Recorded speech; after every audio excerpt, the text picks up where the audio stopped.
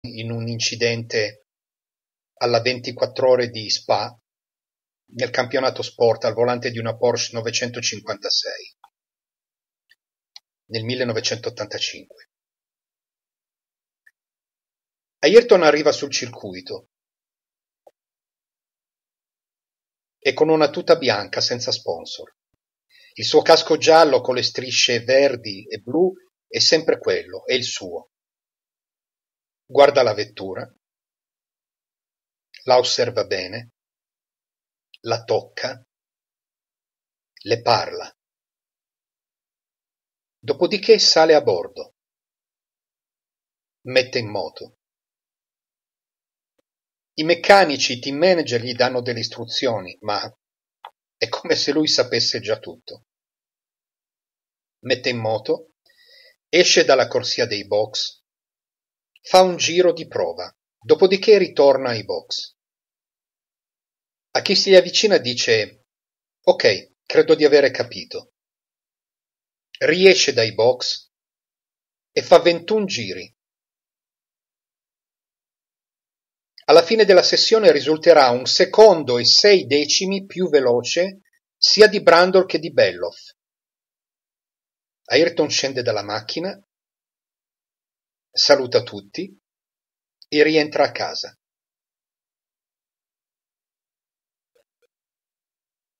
Dopo qualche tempo partecipa a delle prove organizzate dalla McLaren sul circuito di Silverstone e ci sono sempre ancora Brandon e Belloff.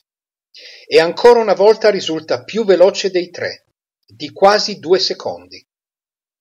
È anche vero che dal mese di giugno Ayrton intratteneva contatti molto stretti con Bernie Eccleston, che all'epoca non era il capo della FIA o della FOCA, ma era semplicemente il patron della Brabham, che aveva individuato nel brasiliano quelle scintille di, di genio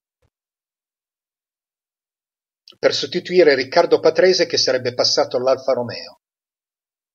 Però il suo ingaggio alla Brabham viene bloccato dalla Parmalat che vuole un pilota italiano come seconda guida.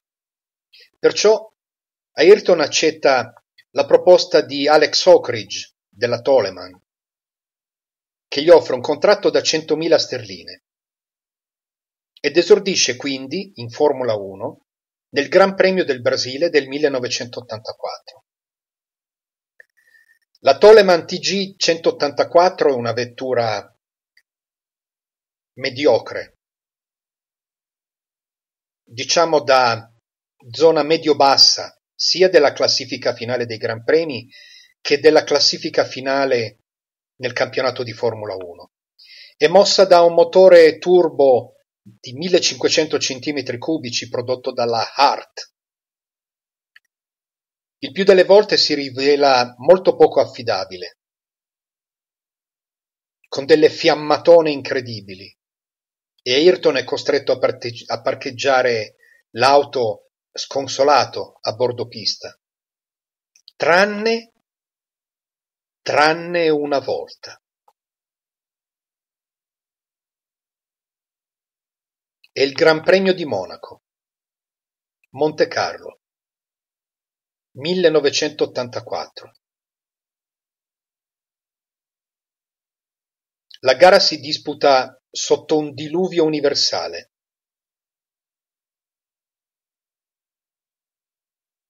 I piloti fanno fatica a rimanere in pista e solo chi ha un talento particolare riesce a gestire bene il mezzo e a non uscire di pista o fare incidenti clamorosi.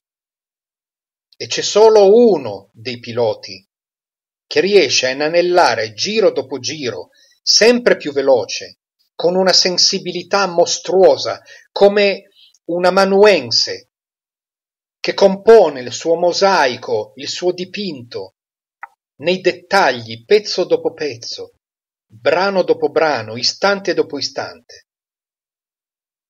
E questo mostro nella pioggia è Ayrton, che al volante della mediocre Toleman TG 184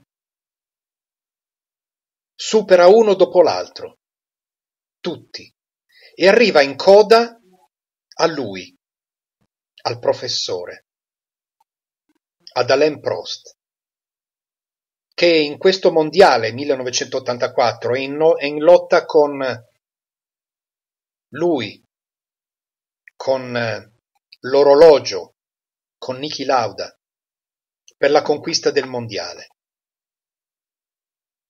Ayrton gli rosicchia secondi su secondi e arriva all'ultimo giro, all'ultimo dei giri disputati fino a quel momento, dove ormai il distacco è minimo. Ma a quel punto il direttore di gara, che è l'ex pilota Jackie X, espone la bandiera rossa. Fine gara. Prost taglia il traguardo per primo per un non nulla, rallentando addirittura, e superato immediatamente dopo da Ayrton, che crede di aver vinto. Ayrton fa il suo giro finale, esultando, credendo di aver vinto. Poi, una volta tornato ai box, scopre l'amara realtà. X si scuserà con Ayrton più e più volte, cercherà delle giustificazioni dovute al fatto che la pista era ormai diventata impraticabile. Ayrton gli risponde diventa impraticabile nel momento in cui i piloti non sanno trattenere la loro foga ed esagerano, ma se si va piano, se si riesce a gestire la vettura, la gara può essere portata fino in fondo. E comunque questa è una vittoria mancata, ma è a tutti gli effetti la sua prima vittoria virtuale, reale.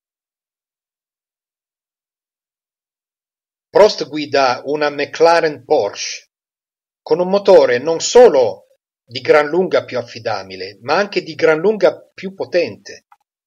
E poi la McLaren ha un telaio in fibra di carbonio incredibilmente reattivo. Il team può disporre di un, di un budget pressoché illimitato. Però questo duello con Prost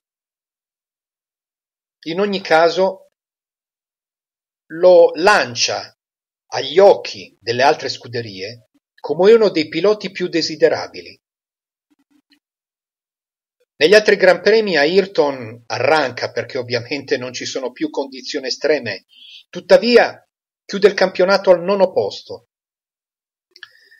piazzandosi sul podio in Gran Bretagna e in Portogallo.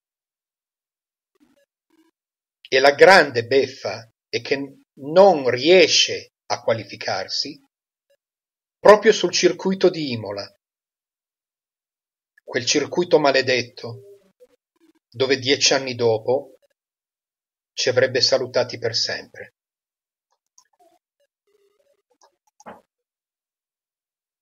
L'anno dopo Ayrton passa alla Lotus, alla Nera Rotus, ancora con i colori della John Player Special. Il genio di Colin Chapman non c'è più, perché Colin è morto tre anni prima, misteriosamente, si dice che fosse coinvolto in uno scandalo con la DeLorean, la famosa auto di Ritorno al futuro. Colin non c'è più, ma comunque ci sono dei tecnici piuttosto capaci che sono cresciuti alla scuola di Colin.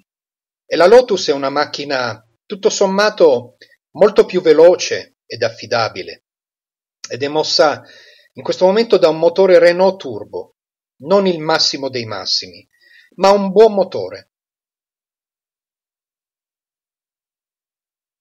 Ayrton trova come secondo, com, come secondo pilota, quindi come compagno di squadra, il pilota italiano Elio De Angelis, che l'anno dopo, durante delle sessioni di prova, sarebbe volato fuori pista con la sua Brabham e ci avrebbe salutati per sempre.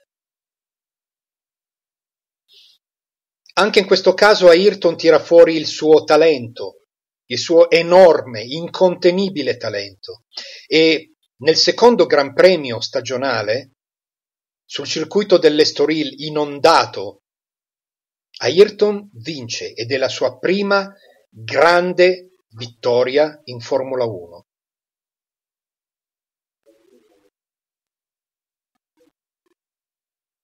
La gara portoghese mostra effettivamente che dopo il Gran Premio di Monaco del 1984 che nessuno può stare dietro al brasiliano quando si disputa una gara sul bagnato. Ayrton infatti parte dalla pole position per la prima volta in carriera e vince il Gran Premio di Estoril con oltre un minuto di vantaggio su Michele Alboreto su Ferrari, doppiando tutti gli altri piloti arrivati al traguardo, compreso il terzo classificato Patrick Tambay. Purtroppo non riuscirà a ripetersi due settimane dopo a Imola, dopo essere stato in testa per tutta la gara e infine costretto a cedere il comando a pochi giri dal termine per aver tirato troppo la vettura e quindi innalzato i consumi ed essere rimasto banalmente senza benzina. Ma il 1985 non è il suo anno perché dopo questi Gran Premi incappa in una serie di risultati negativi dovuti fondamentalmente alla scarsa competitività della Lotus. Però in ogni caso riesce sempre a mettersi in luce in qualifica. Conquista diverse pole position compresa quella sullo storico tracciato di Montecarlo. Ed è proprio ancora lì a Montecarlo che la determinazione e la grinta di Ayrton fanno infuriare piloti ben più esperti del, del calibro di Lauda e Alboreto, che accusano ingiustamente Senna di ostacolare gli avversari nei loro giri di qualificazione, con l'unico fine di mantenere la pole position in un tracciato cittadino come quello di Monaco, dove i sorpassi sono pressoché impossibili. La stagione del 1985 continua con quattro podi in Austria, Olanda, Italia e Gran Bretagna e con la seconda vittoria in carriera, proprio sul circuito scuola dove si dimostra veramente il talento dove tutti i grandi piloti hanno dimostrato il meglio di loro, che il difficilissimo circuito di Spa-Francorchamps in Belgio, nuovamente in condizioni di bagnato. Ayrton conclude il campionato in quarta posizione, con 38 punti, 5 più del compagno Elio De Angelis. È il 1986. E questa volta Senna si ritrova come compagno l'ex tester della Ferrari Johnny Dumfries, perché Elio De Angelis è andato alla Brabham, motorizzata BMW. Ayrton spinse per avere come compagno di squadra il brasiliano Mauricio Gugelmin, ma lo sponsor, la famosa nera con livrea oro John Player, insiste a tutti i costi per l'acquisto di un pilota britannico. Il campionato 1986 inizia per lui molto bene, con due podi nelle prime due gare, un secondo posto in Brasile, dietro a Piquet, irraggiungibile su una Williams Honda astronautica e l'incredibile successo a Jerez de la Frontera, in volata su Nigel Mansell, anche lui su quella Williams Honda davvero astronautica. E questo con un vantaggio sul fotofinish di soli 14 millesimi. Con questo successo Ayrton prende la testa della classifica, ma durante la stagione la superiorità tecnica di Williams e McLaren prendono il sopravvento. Piquet e Mansell se le danno di santa ragione in lotta per il titolo